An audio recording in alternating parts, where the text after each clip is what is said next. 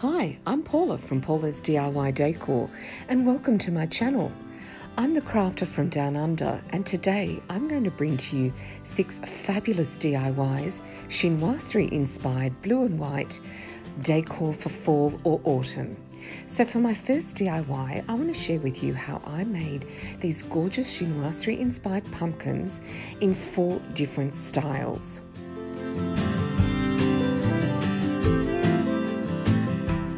To get started, you're going to need some alfoil or some tin foil, a chinoiserie inspired blue and white paper napkin, some uh, jute twine and some white cotton, scissors and some glue. Because the napkin is square, we're going to seal one side of the napkin. So by turning it inside out, you're just going to run some hot glue down the side of the napkin and you're going to seal up that napkin. Then using the white uh, cotton thread, you're going to take a needle and you are going to sew the bottom of this rectangle piece together to create the base of the pumpkin. Now I must admit I was a little bit nervous about using a needle and thread to actually sew the base of this pumpkin together, but it worked really well. It worked just like material because I didn't peel away the layers of the paper napkin, so it was quite sturdy, quite strong. But you still have to be careful. I had to be careful that I didn't poke my nails through the napkin or I wasn't too rough with the napkin. So using some uh, leftover pillow stuffing, I just popped that stuffing inside the base of this pumpkin and then using some jute twine, I just wrapped it around the top of this pumpkin leftover napkin piece and created a knot. After creating the knot, I wrapped the jute twine around a couple of times at the top and then I started to twist it around the pumpkin to start to create that pumpkin form with the indents on the side. And the way to do this is really simple. You just cut your uh, pumpkin visually into quarters and then you wrap the jute twine around in quarters until you have done that uh, enough to create a dent so it starts to look like a pumpkin and then you take your jute twine and you wrap it around in between your quarters to create eights and that's it really. You just have a fantastic pumpkin form. Just uh, adjust the jute twine as you're going along. And then when you're finished Make sure that you pull on the jute twine a little bit of tension so that it does go nice and deep into that pillow stuffing, but not too tight so you rip the so you don't rip the napkin. And then once you're finished doing that, you just create another knot and then get another piece of jute twine and then wrap it around that leftover piece of napkin to create your stem. And you're going to go round and round and round uh, as high as you like. You can trim it down if you only want a short stem or leave it long if you want a long stem. And then using your hot glue, just seal it off at the top and that's it. You've got a beautiful chinoiserie inspired paper napkin which looks absolutely gorgeous. It looks really high end. Just play around with it until you've got the shape that you like and then it's ready for display. So for my second DIY, I want to share with you how I made a pumpkin shape using a balloon, some thread and some scissors. So using this orange balloon that I just had in my craft room, I took some more of that pillow stuffing or wadding and I just inserted it into the center of that balloon.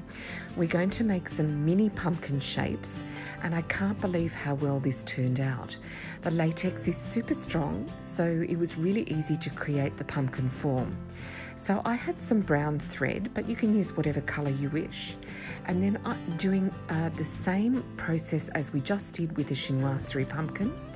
We're going to take the brown thread, you're going to twist it around the top of the balloon a few times, and then you're going to create quarters with the thread, pulling, uh, creating some tension with the thread so that it creates those dents into the pillow stuffing and then you're going to go into quarters and then into eighths again, round and round, pulling a little bit, making sure that you're getting those nice little dents.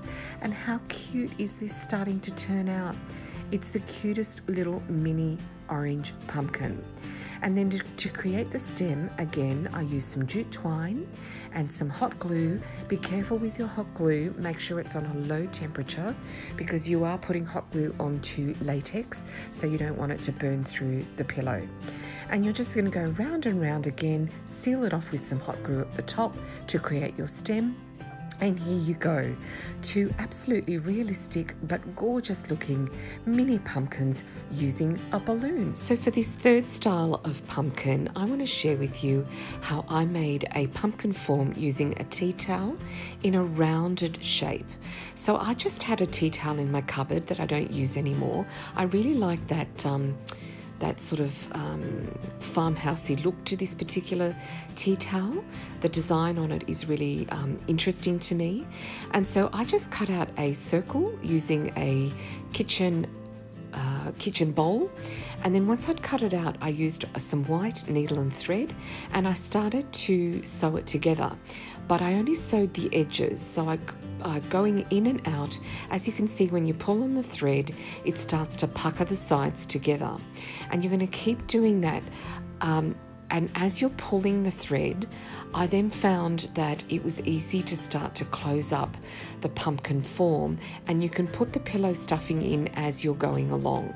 So, as you sew and you pull the thread together, Gently pull it, otherwise the thread does break. This is about the second time I've done this video recording because I pulled too hard and I broke the thread. And the material of the paper napkin, of the um, cloth napkin, is quite uh, quite thick, so um, I really did have to pull on the thread. But put your pillow stuffing in as you're pulling the circle together or the hole together and then using your needle and thread I then just sewed the opening closed. And the way to sew it is you go up and down, left and right, corner to corner, so that it puckers nice and neatly into a close. And then using the needle, I actually pushed it down the center of one side of the pumpkin until it popped out on the reverse side and then turned around and popped the needle through again because the idea here is you want to sew the two pieces of the tea towel together with the wadding or the stuffing around it and that way you start to create a more elongated pumpkin form. Now for my stem, I decided to switch it up a little bit and I created the stem using some foil. So with the foil, I created the base of the stem and then I hot glued it to the top of the pumpkin. And then I grabbed another um, little piece of foil and I basically rolled it up and then squished it together until I was happy with the thickness of the stem. You can always add uh, thickness to the stem by just layering some more alfoil around the existing form. And then I just played around with it, um, you know, pressed it where I needed to press, it gave it a bit of a curve so it looked like a curved pumpkin stem, and then I hot glued it together. And once I was, now you can leave it like that if you wanted a silver stem. Uh, nobody would know the difference really. It still looks quite elegant, but I wanted to carry my theme of my chinoiserie inspired uh, pumpkins with a bit of a farmhouse twist. So I used again the jute twine and I wrapped it around using the hot glue every now and then to secure the jute twine. I wrapped it all the way around the stem and created this gorgeous farmhouse looking uh, tea towel, beautiful pumpkin ready for display. So for my final pumpkin style, I want to show, share with you how I made a gorgeous velvet pumpkin. So I had some dark blue velvet, which goes beautifully with the chinoiserie inspired design. And I did the same thing. I cut it into a round shape. Now this velvet was a little bit hard to trace using a bowl, so I just popped it in between two embroidery hoops and cut it out. And then using some uh, blue needle and thread, I did exactly the same process as before.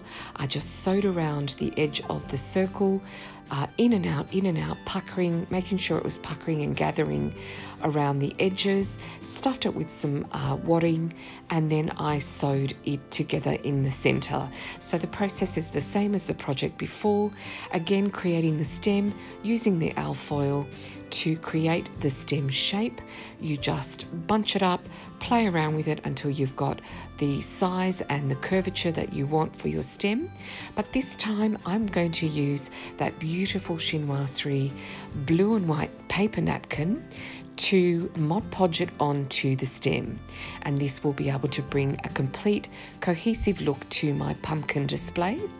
All you're going to do is use some Mod Podge, layer the stem with the Mod Podge, you're going to peel away the layers of the napkin and then what I did was I just used the Mod Podge to adhere the napkin to the stem, gave it an extra coat once it was uh, uh, finished use my hot glue to pop it on top of the nut, uh, pumpkin and there you have a beautiful velvet soft looking pumpkin. So here they all are together displayed beautifully. The chinoiserie paper napkin, pumpkin, the beautiful balloon pumpkin, the velvet pumpkin, and of course the tea towel pumpkin. All homemade, all gorgeous, all high-end looking, and a really great craft to do if you can't get a hold of any pumpkins locally. So for my fifth DIY, I want to share with you how I made a beautiful pumpkin canvas. So you're going to need a canvas of any size, a template of a pumpkin, some beautiful bronze paper that I found in my craft store, some uh, burlap uh, material and I've also had a scrap of my chinoiserie ribbon and some of that beautiful blue velvet. So I found on the internet uh, some pumpkin templates which I printed out and then I simply cut out all of my different materials to that pumpkin shape. So this um, bronze paper I found in my local craft store called Spotlight. It's fantastic because it's already uh, adhesive backed so I didn't have to glue it down. Then using that beautiful blue velvet material, I simply glued the velvet onto the back of the canvas, tucking in the corners so that they wouldn't show. And there I've got a beautiful background there with that gorgeous, lush, deep blue velvet. So I then just peeled off the backing of the bronze paper, popped that uh, pumpkin down onto the left hand side of my canvas, and then used only just the slightest bit of glue for the burlap uh, pumpkin so it wouldn't come through. I also glued that one down to the right hand side. And then for the chinoiserie material pumpkin, I simply put the glue on the edges of the pumpkin because I wanted to uh, stuff the inside of the chinoiserie pumpkin in the center so that it had a more raised sort of look. I wanted to create some dimension with this particular design and I thought it turned out so, so cute. And I really loved the three different, completely different materials. I thought it was interesting and unique and I really, I thought it just turned out so, so good. And I apologize for that footage. I don't know why it was so blurry. And then when I finished, I thought it still needed a little something. So I used some uh, of this beautiful fall or autumn coloured uh, ribbon and I created little bows and just using my hot glue attached them to the top of each pumpkin. So here is my beautiful fall velvet pumpkin canvas with the raised pumpkin in the centre, beautiful coordinating colours, nice, deep and rich. I absolutely love it.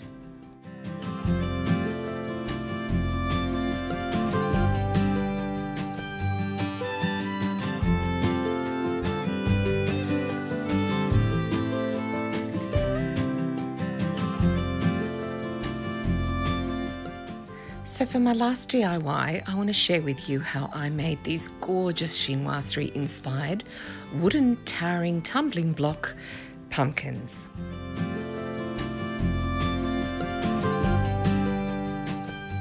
This DIY, I used some towering tumbling blocks, this beautiful blue and white chinoiserie inspired paper napkin, some of that burlap paper, some white paint, and some hot glue.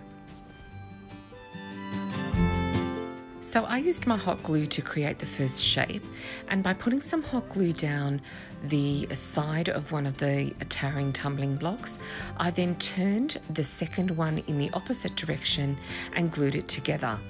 For most of this uh, particular design, I'm not actually going to try to explain it because it's really, really hard. I think it's easier if you just take a look at the video and you'll get the idea.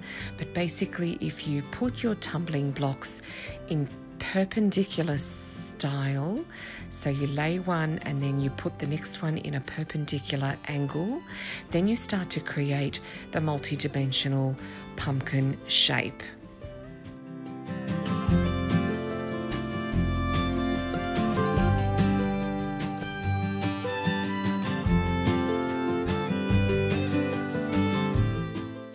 If you like in this video, consider subscribing to my channel. I love to create home decor, seasonal decor, and beautiful tablescapes. If you're new to my channel, welcome, welcome, welcome. I'm so happy that you stopped by. And for my existing subscribers, thank you so much for returning to my channel and leaving me those beautiful comments that I absolutely love reading every week. I do try really hard to respond to every single one of them. You absolutely inspire me with your positive feedback, and I'm so glad that you enjoy this crafting journey along with me. So, the secret to this particular DIY, once you've started to put together, is that we want to, or I wanted to, cover each one of these wooden blocks. So, for the burlap one, I only covered one side of each block, and then using a little bit of raffia, I then just hot glued it on the top to cover up that gap. And you'll see that as I create each of the remaining two uh, wooden pumpkins, I covered each one of them as well with a different material.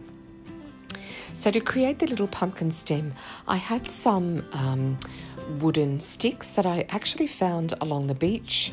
Um, they're pretty, it's pretty soft wood, so it was very easy to cut. You can just use a box cutter or some really strong scissors. And then I used some of this gold paint to cover it up because in my mind I thought I might do some gold stems, but then I realised that the gold would look good with the chinoiserie style wooden block. And for the velvet one, I wanted a darker wooden stem. So I went back and I painted over my second uh, stem with some dark brown acrylic paint. So for the second wooden pumpkin, I covered two tumbling block uh, tumbling blocks that I had glued together with this dark blue velvet. Um, take care when you're wrapping this uh, velvet not to burn your fingers. If you've got some finger protectors, I suggest you use them. Um, and then I just wrapped it around and tucked in the corners and cut off anything that was sticking out. And that was the beginning of the um, base of this particular pumpkin form. And then I did the same with two more single blocks. I covered them up with the blue velvet using the hot glue, wrapped it like a present, and then I glued those two single blocks to the double block in a cross in a cross shape.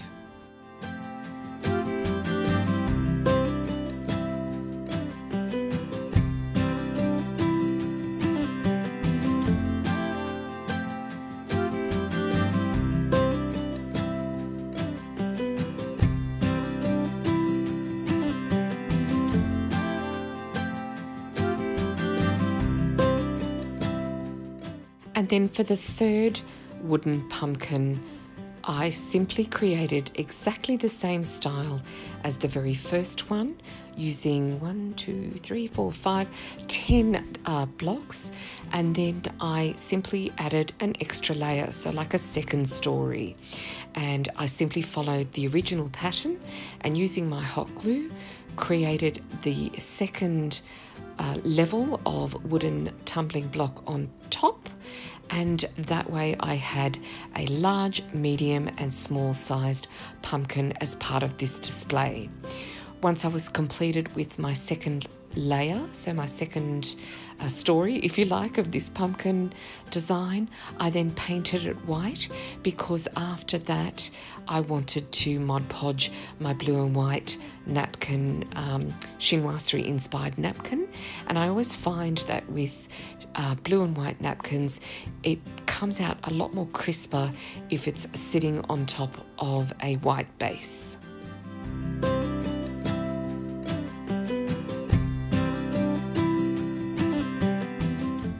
Once the paint was dry, I just layered uh, a nice thick coat of Mod Podge and then gently adhered the blue and white paper napkin onto the wooden um, pumpkin using my paintbrush to smooth out and my fingers to smooth out any wrinkles or any bubbles. It's pretty easy if you're gentle and of course if you use a lot of Mod Podge it makes it much easier to spread as well. So once I had adhered the paper napkin to the uh, wooden um, pumpkin, I then put an extra layer of Mod Podge over the top, cut off the edges, and had so that I could get some nice clean lines. You can use some uh, sandpaper to just take off the edges if you like. Um, clip off or cut off any excess paper napkin so you get some nice smooth finishes and then you've got a beautiful chinoiserie inspired wooden pumpkin. It's unique in its design. I haven't seen it anywhere else. I absolutely love it. It goes with all of my blue and white decor. And again, use some of that raffia to just cover up the gap in the top of the pumpkin and then using my hot glue put the beautiful little wooden um, uh, pumpkin stems onto the top.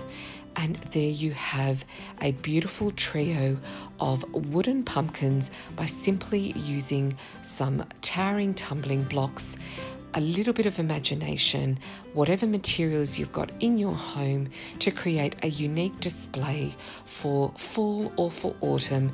Leave me a comment and let me know if you're going to recreate these DIYs. And I really hope you've enjoyed this week's episode. I've thoroughly enjoyed making it with you. I hope you have a great week and I'll see you next time. Bye.